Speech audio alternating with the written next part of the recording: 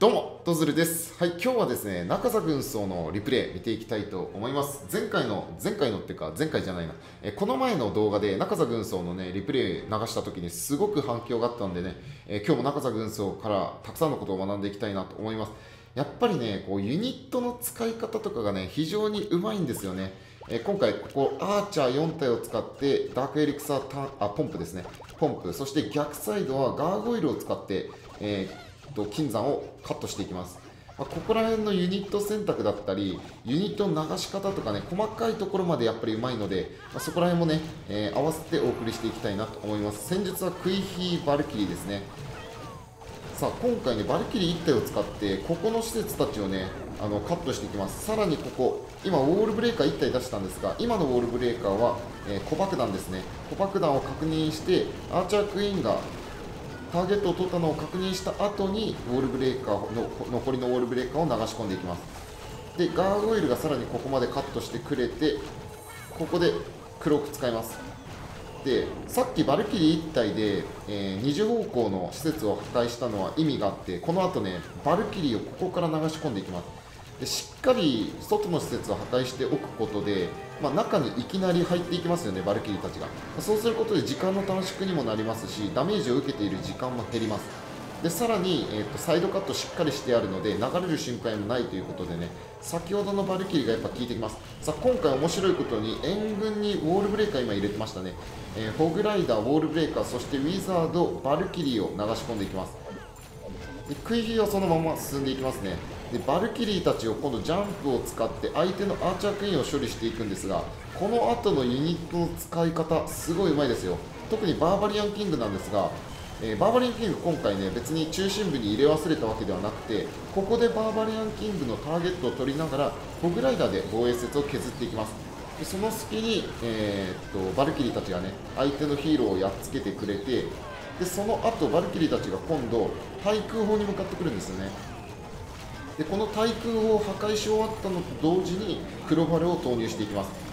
ここら辺もうね完璧に計算されてますよね。間違いなくこれはもう計算されています。バルキリーの動き方から、えーとヒーローを倒す順番そして防衛施設をどこを壊していくのかまでしっかり計算された上で裏ユニットまで考えられている。ここまでねしっかり計算できて全回取ったならもうお見事としか言いようがないですよね、えーもちろんクイヒーもねしっかり、えー最後まで生き残った状態で今回6体のバルーンを残して全開です。ま最初のクイヒーのこう導入ルート予想そして、えーその後バルキリーたちを入れていってターゲットの取り方から裏ユニットの出す順番まで、まあ最初から最後までねもう完璧な芸術的な、え全開なんじゃないかなと思います。やっぱり最近タウンホール9は本当にこうレベルがかなり上がってきてますよね。え特にこうやってなんていうのかな各ユニットそれぞれ特性を生かした攻めがもう本当にユニットを熟知している人が増えてきたのであのタウンホール9の攻めっていうのは本当になんかこう見てて面白いなっていうのを思いますね。さあ次のリプレイもう一個見ていきましょう。さあ今回もですねクイヒーゴイーバなんですが今回はバルキリー14体ですね。バルキリー14体。先ほどはゴーレムを使っていませんでしたが今回は、えゴーレムを援軍で持っています。でここのバルキリーでのカットですね。これバルキリープラスアーチャー1体でカットしているんですがこれユニット数的には9枠なんですよね。で9枠っていうとジャイアントとウィザードと一緒なんです。私結構ねこういった時サイドカットする時、えー、とジャイアント1体出してえウィザード出すんですけど結構ねこっちの方がいいんじゃないかなと今こう見て思いましたね。やっぱバルキリーの方が結構体力もありますし結構ジャイアントウィザードだったらねウィザードがもったいないんですよね。ウィザードすぐやられちゃうんでもったいない。なんでバルキリーを使ってもういっそのことね、え2つの施設を同時に破壊するっていうのも一つのこうサイドカットの一つの手だなと思いました。なんで一つ覚えておきましょうテクニックとしてね。でさらにここクイヒーを回していきます。今回はねヒーラー5体編成です、まあ、密集型でね防衛施設から攻撃を、えー密に受けるので今回ヒーラー5体をつけてアーチャークイーンをそのまま回していきます。で今度ですね60方向から今度ゴーレム部隊を入れていくんですよね。もうちょっとしてからかな。え今ウィザードを、えー外側用に使いました。さあここで、えー60方向からゴーレムを入れていきます。でこの感覚がねすごいいいです。あすごいいいです。あのどういいかっていうと、30方向まずもう削れてますよね。で、60方向を削った後に本体のバルキリーたちを4時方向から入れていくんですよね。この感覚を必ず皆さん、えー覚えて帰ってください。タウンホール10になって私ね、この感覚っていうのが、感覚っていうかテクニックかな、えーこのサイドカットのテクニックっていうのを覚えたんですけど、これをね、覚えると覚えないではすごい違うんですよね。えー60方向で逆サイドですよね、要はもう絶対流れようがない、えー施設がないところの逆サイドをゴーレムとウィザードで削って、でその後に本体を間から流し込んでいくと、ここからバルキリー部隊です。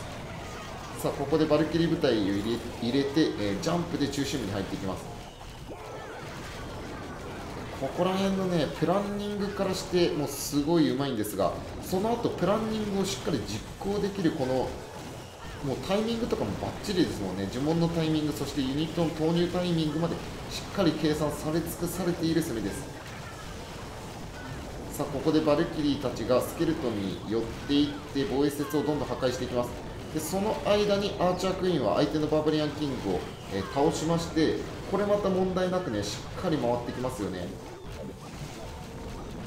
多分中佐軍曹は結構リプレイを見ているとアーチャークイーン合流型よりもこうやってね分離型の方がなんか得意なように見えるんですけどこのアーチャークイーンとクイヒーをもうクイヒーを別パートで回していくってすごい難しいんですよね。上を見ながら下も操作しないといけないっていうことで、まあかなりねそのアーチャークイーンがどう動くかっていうのがあの予想できていないとなかなか難しいと思うので、まあそこら辺も含めてやっぱ中澤軍曹お見事だなと、えー言わざるを得ませんね。今回はレイジ1つを残した状態で、えー全開ということでね非常に素晴らしいリプレイ、えー見せていただきました。中澤軍曹はまだバブリアンキングのレベルが20ということで、まあ、結構20と30では使っててもねすごい違うんですよね。まあ、30と40でももちろん違うと思うんですけど、まあ、私の感覚としては20だった時のバブリアンキングと30だった時のバブリアンキング本当に別物なので、あのーヒーローレベルがねまだ20ぐらいの人の人はぜひですね中座軍曹の、えーとヒーローの使い方だったりユニットの使い方っていうのをね参考にしていただければなと思います。はいということで、えー今日はね中澤軍曹のリプレイを見ていきました。また次の動画でお会いしましょう。バイバイ。